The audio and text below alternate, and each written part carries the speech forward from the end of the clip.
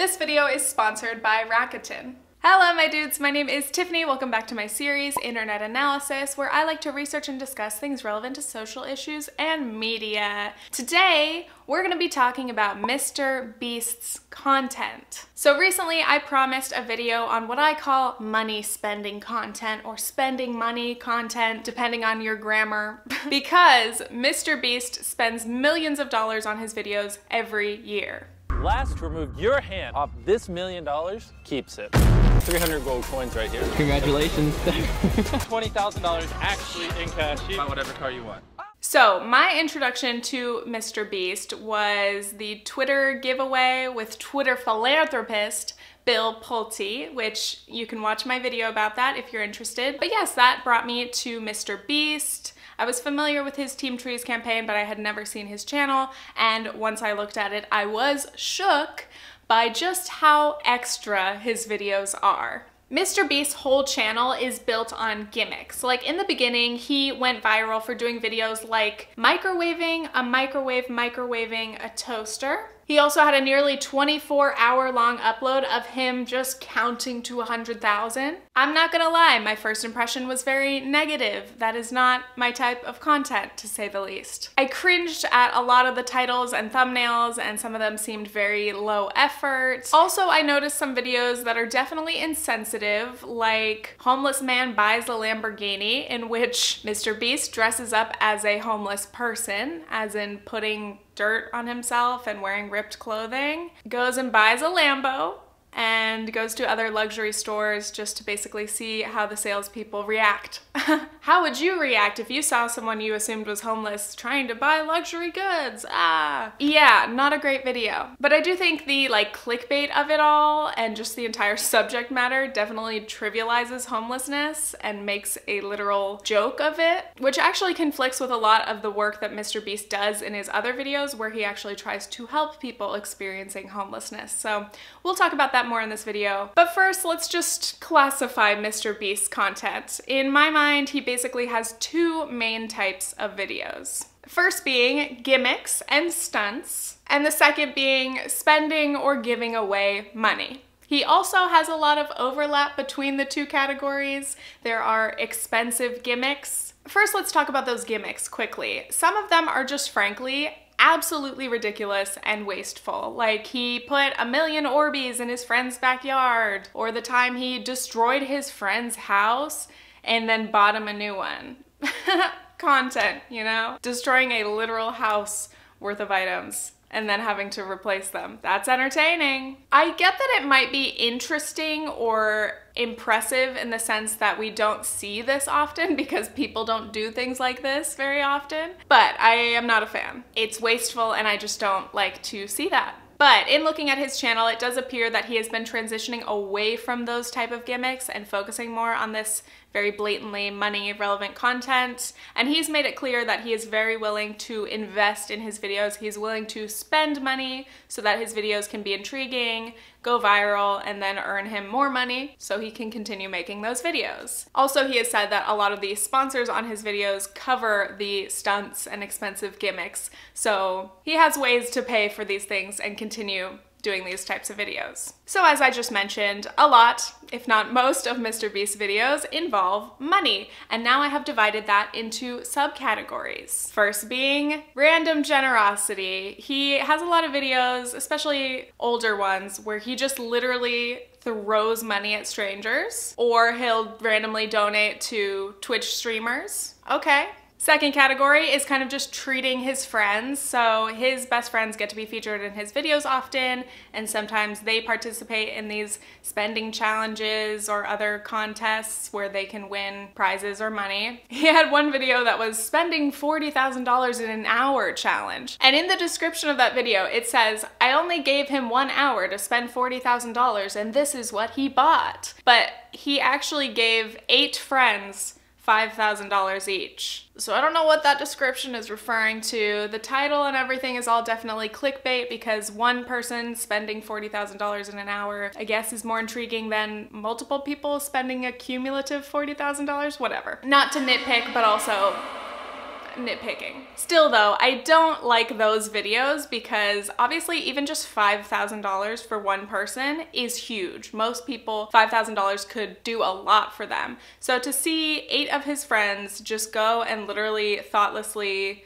buy stuff unnecessarily. I don't like to see it. I don't like the kind of promotion of unresearched, spur of the moment financial decisions. I know that it's a video and it's meant to be entertaining, and maybe some people do find it entertaining because it's so surreal, like this doesn't happen to people in real life, but Mm. Anyway, third subcategory would be more thoughtful and time consuming sprees. This is more random generosity, but in different forms. Like the time that Mr. Beast bought everything in a store, but then he donated it all to a local food bank. So that's quite a gesture of generosity, but it is also a gimmick to get clicks. So what is the appeal of these videos? I think that they are very aspirational. I think that a lot of Mr. Beast viewers either would like to spend money like that or they would love the chance to be able to give money like that, gift that experience to others. So when you watch his videos, you get to kind of live vicariously through all these people and imagine what it would be like if you could be doing those things. And as I said, based on Jimmy, by the way, Mr. Beast's name is Jimmy,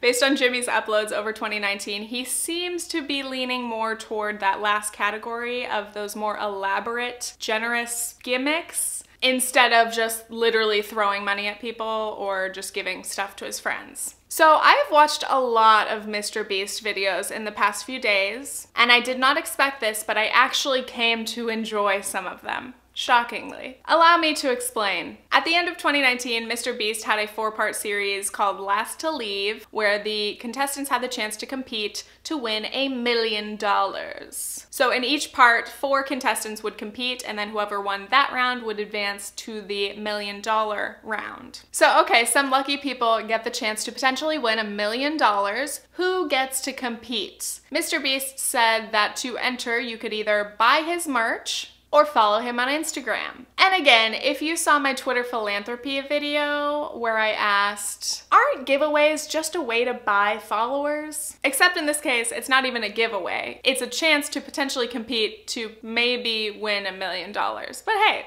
still worth a try, right? At first I was like, oh, it's pretty shady to like try to encourage people to buy your merch just to get the chance to maybe compete to win a million dollars. That doesn't seem very cool. But again, following him on Instagram is free. And also on his website, I saw that there was a free entry form. So anyone who was over the age of 18 in the United States would be able to enter this contest. Sorry, I'm crying, my throat hurts, I'm sick. It hurts to talk, that's fun. But first, let's give a shout out to today's sponsor, which is Rakuten. If we are gonna be talking about spending money, let's be sure to get some cash back, baby. You might be familiar with Ebates. Well, they have rebranded to Rakuten. New name, same great service. Basically, Rakuten is the largest cash back site and they're partnered with over 3,000 of the biggest name brands like Macy's, Ulta, Target, and more to give you promo codes, coupons, and cash back all for free. So all you have to do is just click links through Rakuten to bring you back to the store websites and just do your shopping that you were already planning to do. So for me personally, I do most of my gift shopping online because most of my friends and family live far away from me. Let's say for example, I use Rakuten to go to Target's website. My mom loves Target, that is my go-to for her. So I'll pick her out something nice and then see what kind of rewards Rakuten has in store for me. It is that easy, and again, you're already doing your shopping. So this just helps you save money or get cash back. So you can join Rakuten for free with the link in my description and after you place your first order of $25 or more, you will get a $10 welcome bonus. Also, Rakuten is sponsoring a $100 giveaway for one of you guys. So after you sign up for Rakuten using the first link in the description, you can click the second link to enter that giveaway. Thanks again, Rakuten. Now let's get back into the video. Okay, so back to the series. Basically, in each part, the contestants just have to outlast their opponents. So there's last to fall, last to stop swinging, last to leave toilet, and last to stop biking. First episode, I will admit, I was like, okay, this set is impressive. And Mr. Beast joked that it was from the American Ninja Warrior set, and I was like, It actually could be though. So I'm watching the episode and all of a sudden he says to incentivize the coaches who are his friends there to like cheer on the contestants. If any of those contestants win the million dollars, they have to give 10% to their coach. And I was like, excuse me, I hope that the contestants were told this beforehand and not in the middle of the competition that they're already doing, because clearly they can't argue with that. I mean, they're already gonna have to pay a ton in taxes, so it kind of sucks to lose another hundred thousand right off the bat. But again, okay, we're competing for hundreds of thousands of dollars. Fine. So in the first contest, the last two contestants apparently lasted over 24 hours, like standing on this tightrope thing with their arms up in those loops. And I'm like, excuse me? Hold on. Did they get to eat or sleep or drink or pee? I am concerned. Like maybe we are just supposed to suspend our disbelief and whatever, keep your head in the game. But I have so many questions. And then we continue and we get to the toilet one, which to me seemed a lot easier to bear because, you know, they had blankets, they got to sit, they got food. Anyway, I just want to know what happens off camera. Did they get breaks? Please tell us. Maybe I'm the only one who cares. And then at one point, a pizza delivery guy comes and brings everybody food, and Mr. Beast tips the guy like a fat stack of cash. And again, he literally throws the money at the guy like it's nothing. And I was just like, maybe money is nothing to Mr. Beast. I mean, again, clearly he has no problem with spending money on his videos. I'm like, okay, if I were working a service job again, would I be like offended if someone threw money at me? No, not at all. I would be happy. I'm like, honestly, just keep keep throwing money at me. That's fine. By the way, each contestant that doesn't end up winning their round doesn't leave empty-handed. There's like this unicorn thing that comes out at some point that's full of like expensive tech stuff that's worth a few thousand dollars. And then near the end, they try to get people to quit by offering them up to like $10,000 cash. So that's pretty nice. At least these people who are potentially suffering for 36 hours get something out of it. That's good. And then we get to the last contest, and I noticed that I think only two, maybe three of the 16 contestants were girls. And okay, like maybe Mr. Beast's audience is mainly male, that might be it, but I just think hmm, like it's not like these are like strength competitions. They're just endurance tests. You'd think that girls would be just as capable of hanging out or sitting on a toilet for many hours, but I digress. Okay, so what were my main takeaways from watching these four episodes, which were hard to get through? They were very boring, okay? What the actual contestants are doing in the competition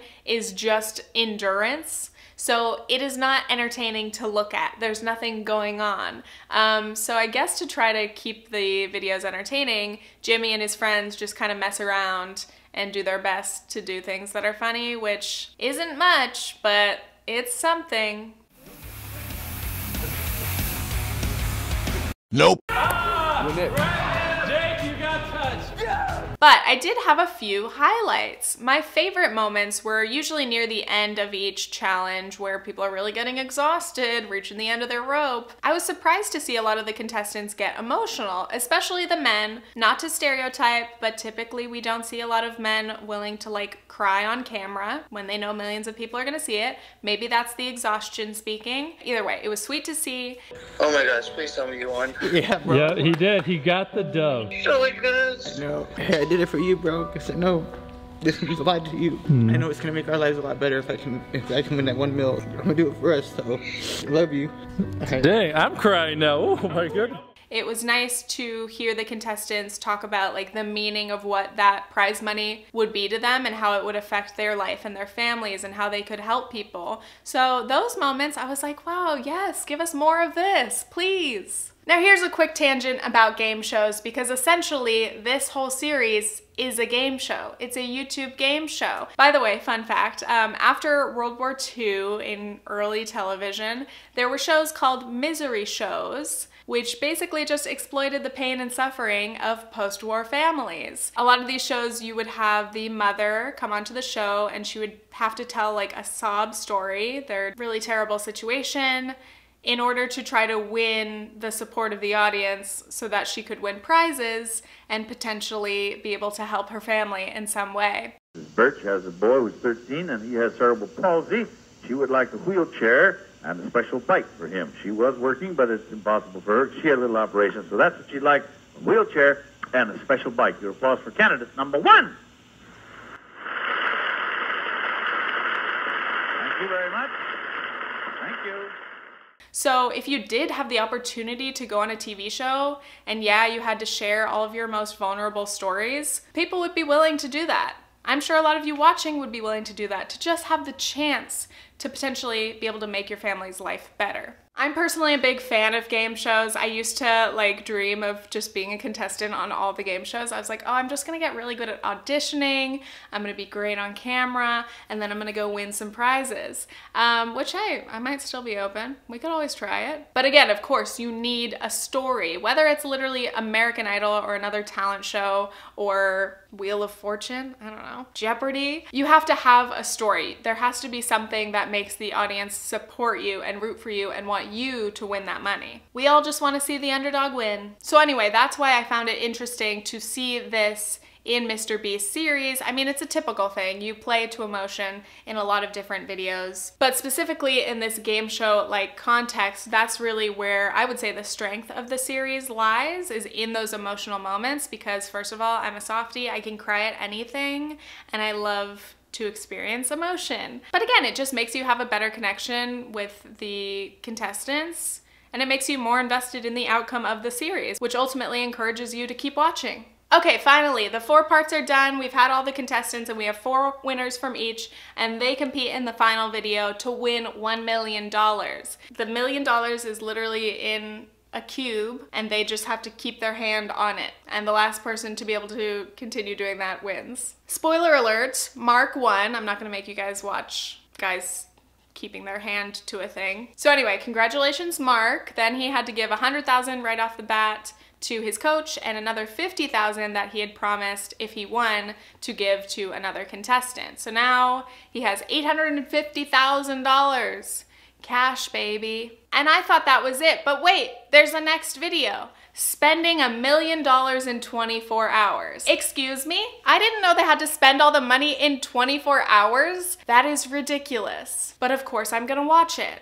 Also, again, to be technical about the clickbait, technically he's spending $850,000 in a day, but still, whatever. I am in the universe of Mr. Beast now, and anything he says in his clickbait thumbnail and titles goes. I'm gonna quickly go through the things that Mark bought in his day of spending. He had a $24,000 shopping spree buying tech and gifts for his friends and family. Then he bought two cars, a GMC and a BMW for $100,000. Yikes. Immediately I was like, well, what about long-term costs? What about repairs, insurance? These are brand new expensive cars. He then bought a $20,000 ring for his wife. So then they visit Mark's house. So this is where you currently live. Yeah. This is my room. You know, this is where me, my wife sleep. You see, it ain't no room at all. Like You can't even open the door all the way. And I immediately noticed the sad music that they put in the background while they were showing how small Mark's room is and the fact that his cousin sleeps on an air mattress. Your little cousin sleeps on an air mattress? yeah, and it's he popped it, so it's flat.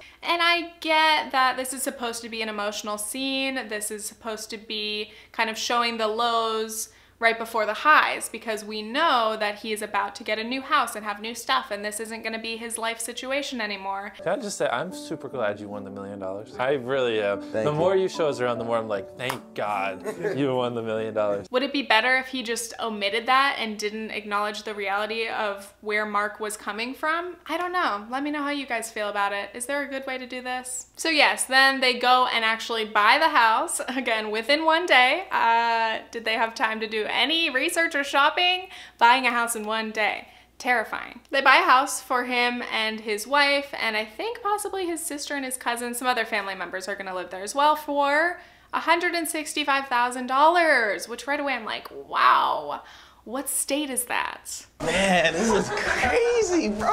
Man, look at you. Stamp it.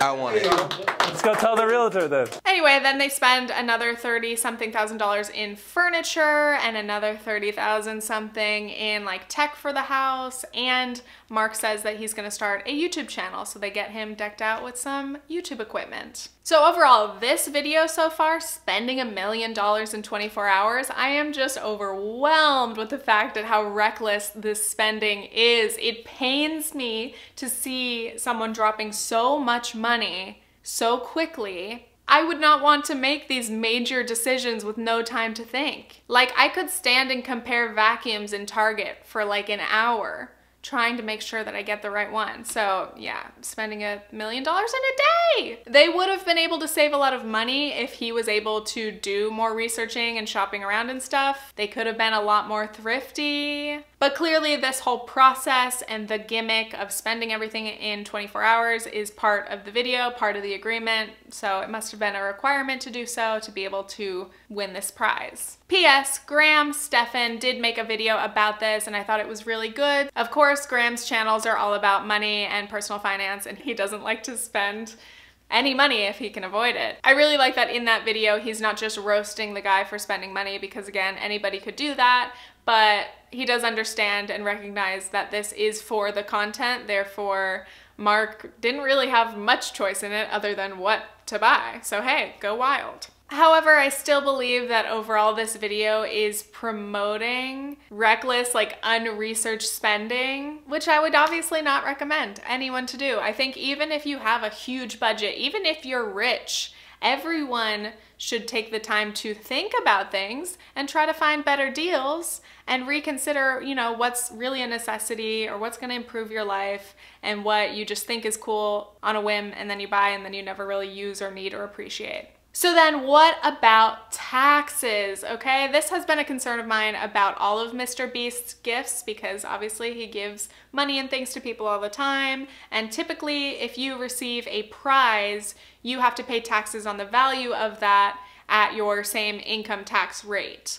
So for example, again with game shows, say you win a new car. There's no way to say you want a new car and not use that voice. You would have to pay taxes on the car. So if you won the car and cash, the cash could help you pay for the tax on the car, if that makes sense. But if you just win the car, for example, you would either have to accept the car and just pay the tax out of pocket if you have it, or you could sell the car and then pay the taxes with that money and then maybe buy a cheaper car, or you could just refuse the car. I don't know why you would do that, but maybe you would. So my question is, can Mr. Beast's winners handle the taxes on these prizes. According to this clip from the H3H3 podcast that Jimmy was on, he said that he does cover the taxes for the gifts. So I hope that that is true. It would be really good to know that he's not screwing people over, you know. And the great thing is in this video, Spending a Million Dollars, they do sit down at the very end and talk about these other numbers like taxes, the entire amount that they need to set aside for that. And also, I think he set aside money for investing and then he gave Mark some money for other expenses and things. So again, it is clickbait. He didn't literally spend a whole million dollars in 24 hours, but his whole part of the 850,000 was accounted for by the end of the day. But I was really, really glad to see, again, the fact that they met with a financial planner or a CPA, maybe both, and went over and explained everything to Mark because winning a lot of money all of a sudden can be very overwhelming and a lot of us don't have a lot of financial knowledge and don't understand these concepts because they can be very confusing. So it is good to know that he was taken care of in that sense. One of my goals for this video was just to make sure you don't get screwed over. Like, I genuinely think you will do fine. If you ever need anything, just let me know. Thank you, and I appreciate everybody. So, continuing on, aside from the questionable financial decisions, I did really enjoy this episode. It was really sweet to see Mark so excited to be able to buy so many things for his new life. And the first thing he wanted to do was get gifts for his friends and family, and that was really sweet. Did I cry? Of course I did. I also think that this episode was just actually very similar to like home makeover type of shows, you know, when you see a family living in a place that's too small, they need help, and then HGTV shows up and here you go, new house, new stuff.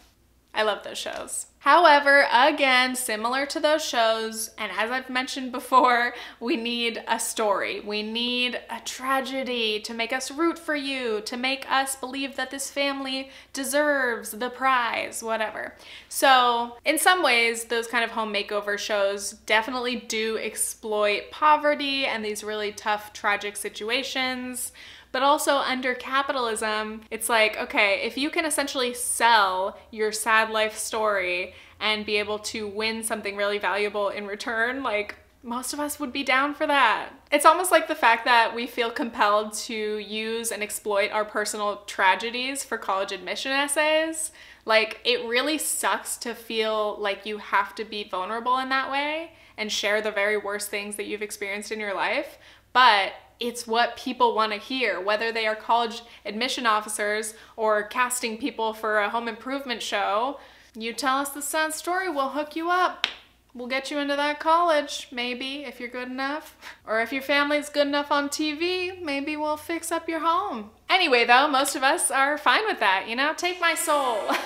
Give me things.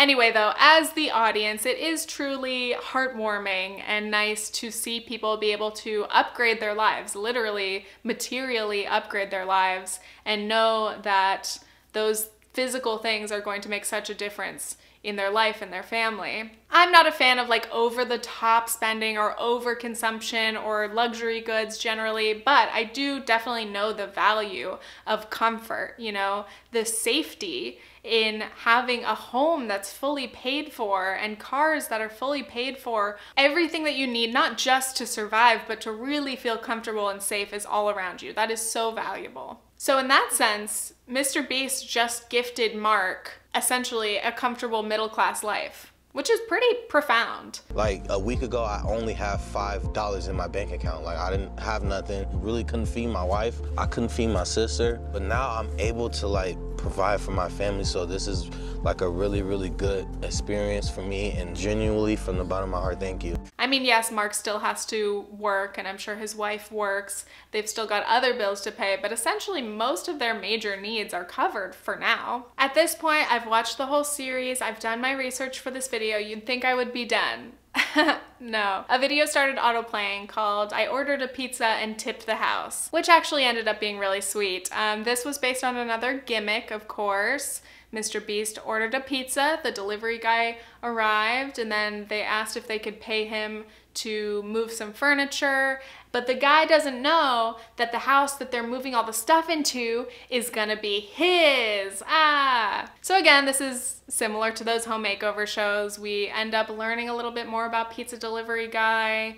We learn that he has a kid and a dog, and we're just so excited to see how this is gonna change his life. Jimmy's actually made a few other videos similar to this. Uh, one was where one of his friends' family friends was about to be evicted and they decided to buy him a place and furnish it and give him the keys, which was sweet. Again, I'm a sucker for all of these videos. Give me the content. By the way, one last thing that I can appreciate about this is that Jimmy and his friends actually do all of the work, which is good to see. He could easily hire movers or something and not film that whole process. But he and his friends actually go out, they do all the shopping, they load and unload things, they unpack, they put things together. I was really glad to see that. Um, I think it's cool that Mr. Beast has the chance to employ so many of his friends and they get to make these fun videos in the meantime. Okay, so my overall judgment of Mr. Beast content now that I've seen more of his stuff that's recent and not just him counting to a 100,000 or something. First of all, I think it's fascinating to see what YouTubers can do with big budgets because we don't often see YouTubers spending a lot of money on their videos in the ways that Mr. Beast does. We often see creators get rich off of their videos naturally, and then sometimes we see their lifestyle inflation, we see their houses, what they spend their money on, but we don't really see Mr. Beast himself flex about his own material possessions. We see him giving away and buying things for other people much more often. So I actually really do appreciate that and I can give him credit. Um, if you've seen my video on flex culture, you'll know that most YouTubers are flexing. So based on his uploads over the course of 2019, I think it's pretty clear that he's still continuing to make videos kind of in this direction, in this realm of big, over-the-top, generous acts of kindness, you know? And I like to see it. I don't know in terms of content how entertaining it would be if every single Mr. Beast video was like another home makeover gifted to somebody random. I mean, I would probably still like it and cry. But I do know that he does seem to always change up his content, so I'm sure he won't stick with this exact formula for too long. Final thoughts. First of all, I want to know where everybody is now, okay? I need follow-up videos, even though I think the pizza guy video was like only a couple weeks ago. I just want to see how everybody's doing. How's he? How's Mark? I know that these people deserve privacy, uh, but I am a sucker for a follow-up, so I hope maybe we get to see what happens. Also, Mark was supposed to start a YouTube channel. He bought all the equipment, and I tried to find his channel and couldn't find anything, so I don't know if he ended up doing that. Anyway, generally, I am just fascinated by how people spend their money, especially when you get a huge amount of money that you're not used to, either in like a really big raise at work or an inheritance or winning the lottery, you know, whether it's 50,000, 100,000 or a million or millions, like it is actually a very emotional and stressful situation to be in, though obviously we're all like, dude, I would take it. There's a lot more complexities involved, so I love to just hear people's thoughts and reactions and what they end up doing with that money. By the way, please comment down below uh, what you would spend your huge lump of money. Lump of money, lump sum, like what would be your first priorities? Would you buy things? Would you get your parents a house? Would you pay off your student loans? That would be responsible. My sister also recently told me about a documentary about what happened when a man experiencing chronic homelessness was suddenly given $100,000 cash